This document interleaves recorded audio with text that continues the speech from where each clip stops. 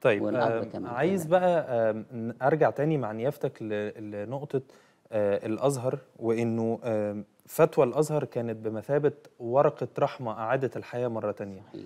آه، ويمكن نيافتك في بداية آه، الكلام اتكلمت عن الرحمة. صحيح.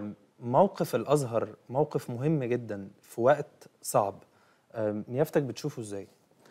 هو الحقيقة أنا عايز بس بالنسبة لفتوى الأزهر الشريف عايز نقول رحمة وعدل. لأن هم حكموا بما آه، تحكم به الشريعة الإسلامية العادلة اللي مليانة رحمة وسلم وحب و... وتقدير للموقف تقدير للموقف.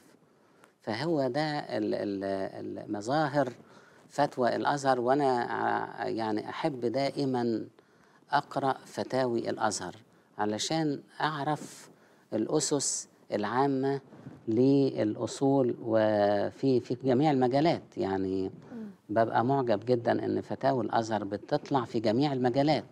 وبعدين بحس فيها بالحكمة والعقلانية والالتزام برضو بالنصوص وبالشرع.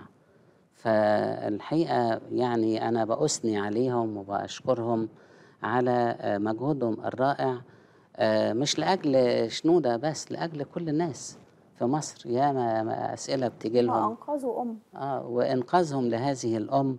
وبعدين ال- الحكمة اللي بتقول هذه الأم تعبت وشقت واستلمته وما فيش ظهور للأم الحقيقية وللاب الحقيقي. وبعدين قعد آه، خمس سنين دلوقتي. يعني مش معقول طبعا. ده مع الأحداث كمان كلها اللي مرينا بيها مع يعني الأحداث ما والكلام فيش وال- حاجة خالص. وال... آه والرأي العام دخل والناس اتكلموا وال...